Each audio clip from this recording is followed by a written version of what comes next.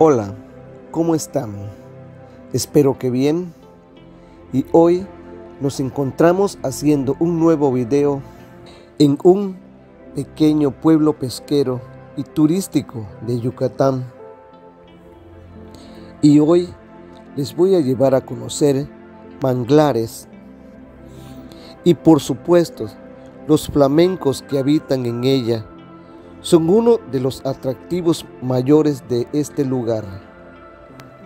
Viajeros, estoy hablando de Celestún y bienvenidos a Celestún, Yucatán.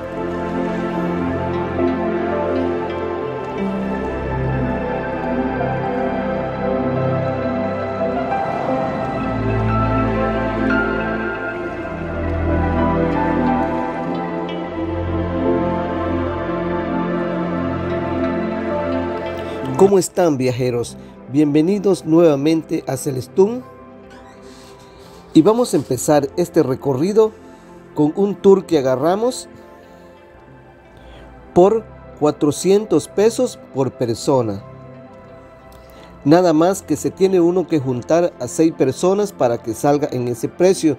O de lo contrario, tomar el tour privado que te cuesta eh, 2.400 pesos. En este caso nosotros lo agarramos de 400 pesos para que salga un poco más económico. Y prácticamente pues es lo mismo. Así que eh, vamos a empezar este tour viajeros por estos manglares y avistamiento de flamencos. Vamos, acompáñenme.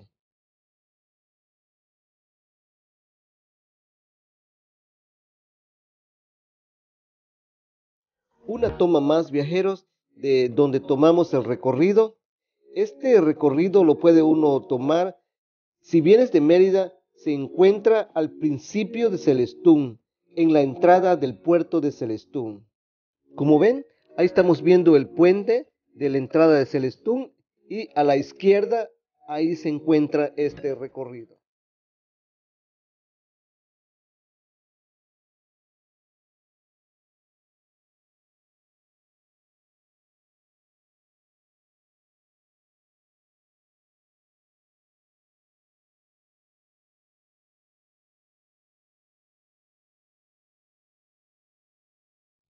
Bueno viajeros, mientras llegamos a donde se encuentran los flamencos, les voy a contar un poquito de Celestún.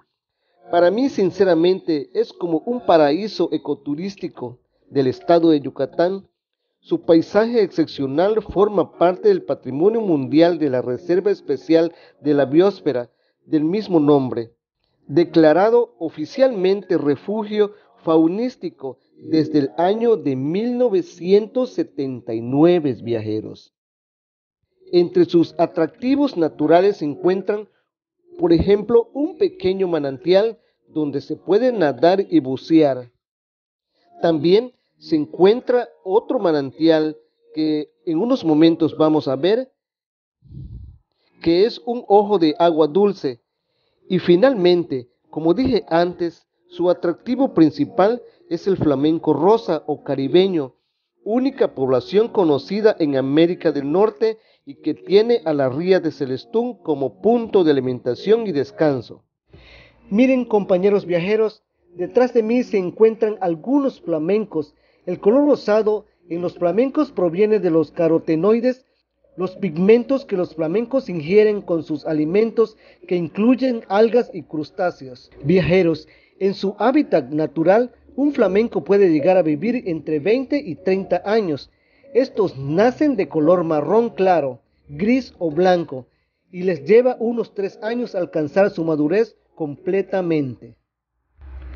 Es entonces, viajeros, que su plumaje se torna rosa, rojo o anaranjado. Un dato, viajeros, las aves de color rosado de cuello y patas largas se llaman flamencos o flamingos. Flamingo es la voz inglesa que designa el ave que en español se llama flamenco. Un dato más, compañeros viajeros. Los flamencos tienen una forma muy particular de elegir su pareja para reproducirse. Durante la época de reproducción se puede observar a grupos enteros de estas aves en medio de una danza grupal en la que marchan de un lado para otro con el cuello estirado y girando la cabeza. Esto es Viajando con Valencia. Si no estás suscrito al canal, eh, suscríbete, que eso me ayuda mucho y dale like y comparte el video con todos tus amigos, familiares, vecinos, como siempre lo digo, compañeros viajeros. Así que vamos a seguir disfrutando de este video bonito de Celestún, Yucatán.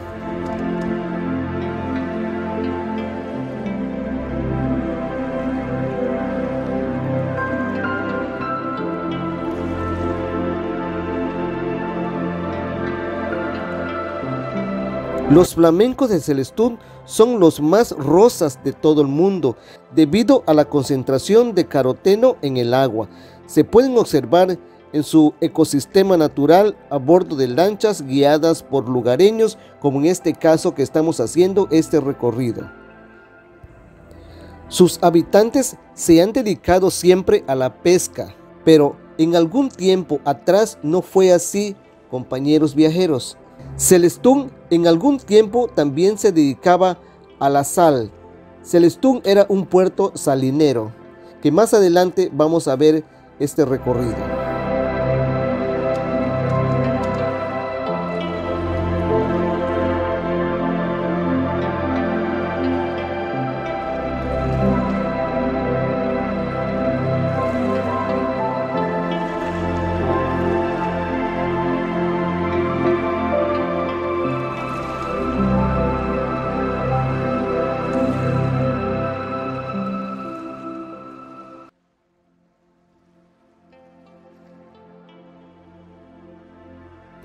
Hola viajeros, navegar en esta pequeña embarcación es disfrutar de la flora y fauna, las especies que habitan en los manglares son plantas leñosas que crecen en condiciones de alta salinidad, suelos fangosos, pobres en oxígeno, altas temperaturas, mareas extremas y vientos fuertes. Pero, viajeros, los manglares son los únicos bosques del mundo que representan una suerte de muro natural que hace frente a las tormentas. Si los manglares viajeros desaparecieran, las comunidades también se quedarían sin una de las barreras de protección para mitigar la erosión del suelo. Así que les invito que cuando vengan a disfrutar de esta naturaleza, no arrojen la basura, sino traigan una bolsita y así todo lo que traigan se lo vuelvan a llevar. Y recuerden, como dije antes, los manglares contrarrestan la erosión del suelo, actúan como barreras ante las fuertes ráfagas de viento de los huracanes y son el hábitat de muchas especies.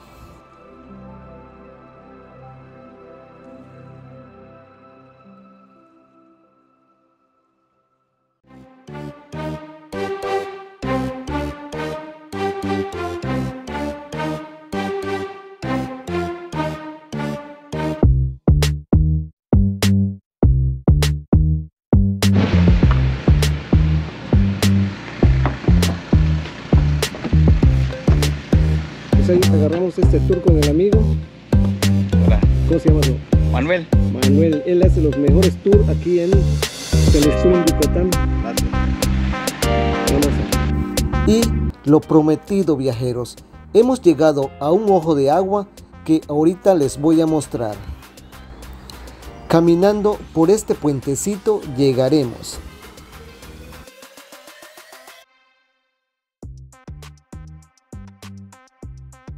En estos momentos está haciendo un calor sinceramente insoportable. Pero les cuento que este viaje a Celestún no lo teníamos planeado, solo venimos de repente y no venimos con ropa adecuada para meternos a este lindísimo cenote. O mejor dicho, ojo de agua natural. Pero disfrutemos con la vista y acompáñenme a recorrer este pequeño puente con su ojo de agua. Vamos compañeros, vamos. Pues aquí detrás de nosotros se encuentran unos compañeros de viaje y suscriptores del canal. Así como ellos compañeros, tú también suscríbete al canal de Viajando con Valencia.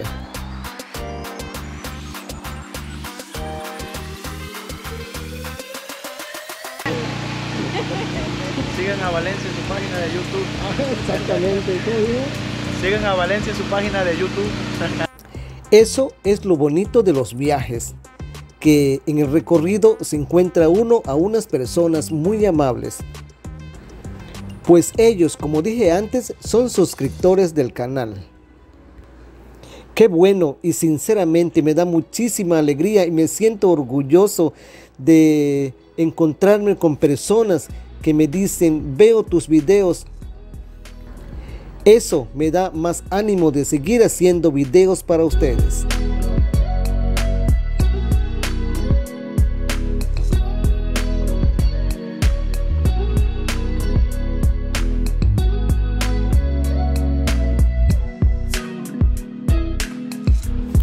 Pues ya con esta bellísima toma que nos regala Celestún, terminamos el recorrido de avistamientos de flamencos.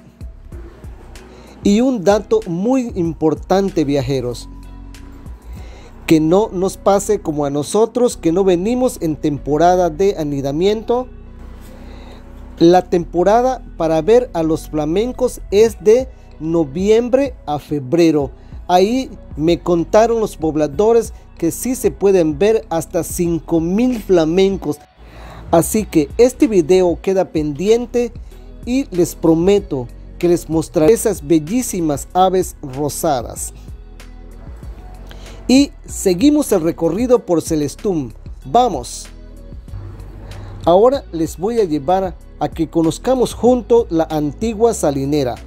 Vamos, acompáñenme compañeros viajeros. Vamos.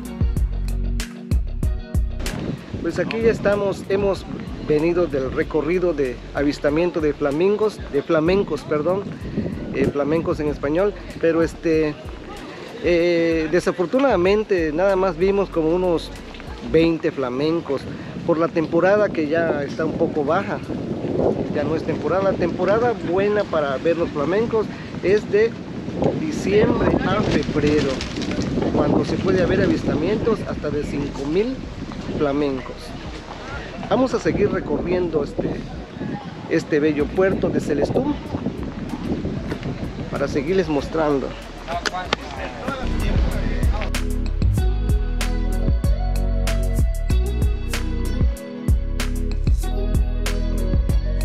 Ahora llegamos hasta la plaza principal de Celestún y a donde están las letras enfrente pueden agarrar un tour terrestre por 250 pesos por persona donde le llevan en unos mototaxis a conocer la antigua salinera, el bosque de árboles petrificados y una reserva donde hay muchísimos mapaches y unos paisajes espectaculares como para tomarse lindísimas fotos. Así que vamos a hacer este recorrido en este mototaxi. Vamos compañero, vamos. Miren viajeros, antes que se me olvide, Celestún significa en lengua maya espanto de piedra, por derivarse de los vocablos celes, espanto, y tum, piedra. Miren estas tomas, estas son las charcas de sal de Celestún. Se dice que desde tiempos prehispánicos los mayas recolectaban sal de las costas yucatecas para conservar y preparar sus alimentos. La obtenían evaporando el agua de las charcas con la luz del sol. Una toma más de las charcas salineras de Celestún. Ahora les presento el bosque petrificado de Celestún. El bosque petrificado es un hermoso paisaje cubierto de manglar blanco que debido a que estos árboles tienen unas raíces muy profundas, se mantuvieron en pie después de los fuertes vientos al paso del huracán. La sal que ha absorbido en sus raíces y madera lo han mantenido literalmente petrificados. El lugar es muy impresionante, ya que después de cruzar tanta vegetación en la zona podrás encontrar los troncos grises como fantasma de un enorme bosque que desapareció. Celestún no es solo un puerto pesquero y turístico, Celestún es el segundo exportador de sal en el estado, tan solo después de la salinera en las Coloradas y entre ambas se exportan 70 mil toneladas de sal, convirtiendo a Yucatán en el tercer exportador a nivel nacional detrás de Guerrero Negro en Baja California y Veracruz. Miren viajeros, vamos a entrar a conocer lo que hace muchísimo tiempo fue un molino donde se refinaba la sal hace muchísimo, muchísimo tiempo.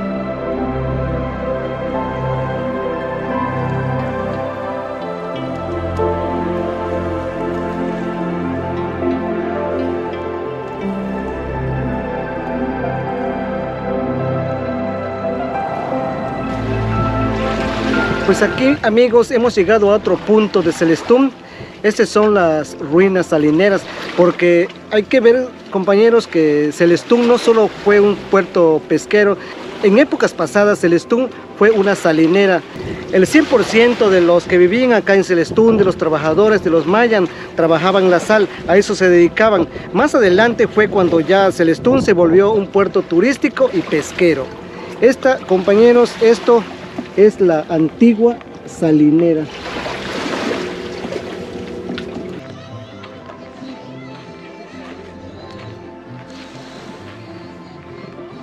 Pues aquí como vemos, este, es una playa muy bonita, tranquila. Diría yo que todavía una playa virgen, porque está muy alejado de la, de la, del puerto, de la ciudad, del centro de Celestún. Y diría yo que pocas personas vienen aquí a visitar esta playa porque sí está bien lejos del centro. Es un camino malo, como hemos visto, y este pues... Pero sinceramente, qué preciosa está el agua. Qué preciosa está el agua. Pues ahora sí, viajeros, con estas lindísimas tomas que nos regala Celestún, hemos llegado al final de este video. Espero sea de su agrado y que ojalá y les sirva como guía para que cuando vengan a Celestún sepan qué hacer y qué tour tomar. Y les recuerdo que si no están suscritos a mi canal, suscríbanse, denle like y comenten. Eso me ayuda mucho a seguir haciendo más videos para ustedes, para que juntos conozcamos nuestro México. Bye bye.